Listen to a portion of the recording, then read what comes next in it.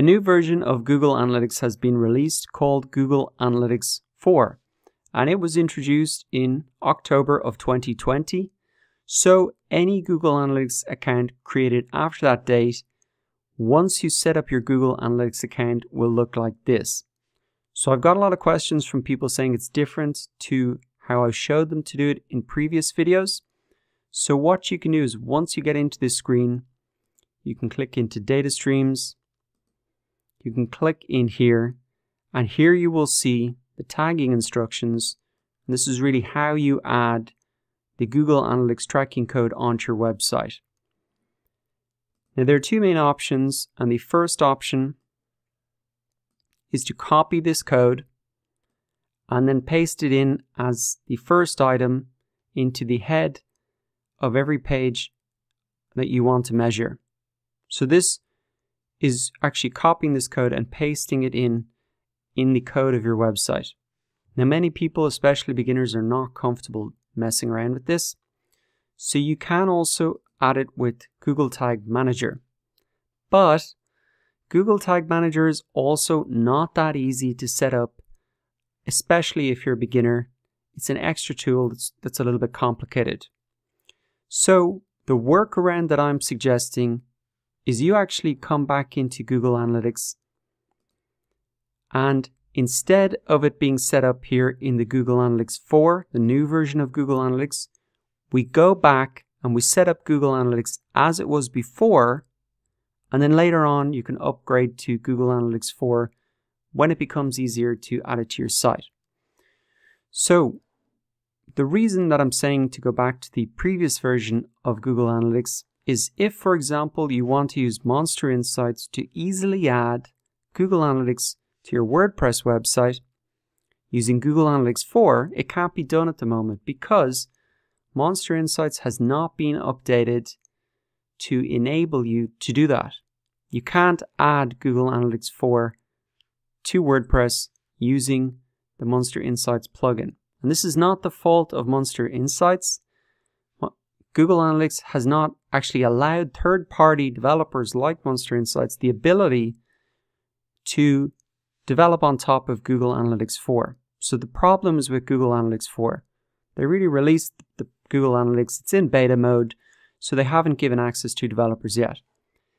Even Google's own plugin called SiteKit, which is another option to add Google Analytics to WordPress, they haven't even updated their own plugin to enable this. So if you were to use this plugin, you can't add Google Analytics 4 to WordPress using this plugin.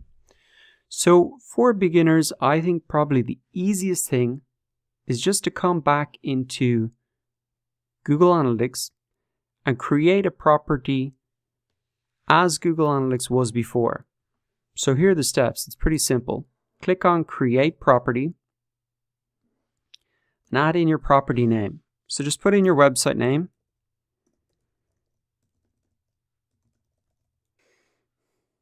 And you can add in something like old Google Analytics so you know it's clear. Then add in your reporting time and currency.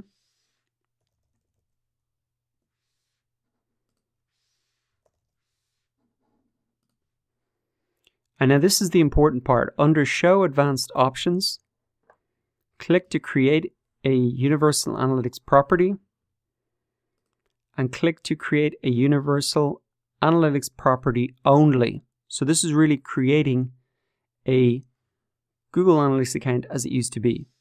Just remember to pop in your website URL and then click Next. Now you can fill out these questions here.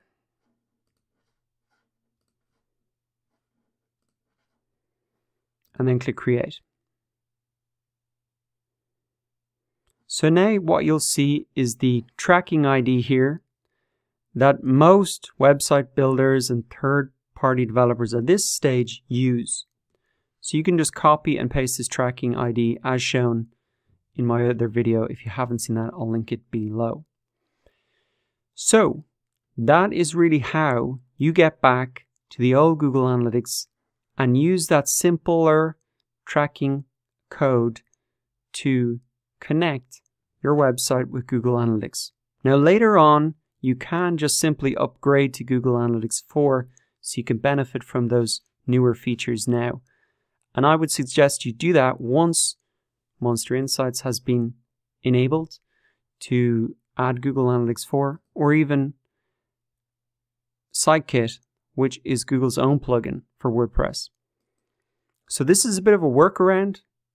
To recap once again, what I'm suggesting is you just come in, create a new property as the old Google Analytics, wait for these plugins to be updated, especially for WordPress if you're not comfortable messing around with codes.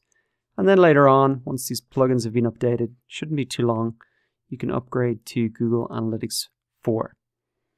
So that's the workaround to add Google Analytics to your website easily. Thanks for watching, and I'll see you in the next video.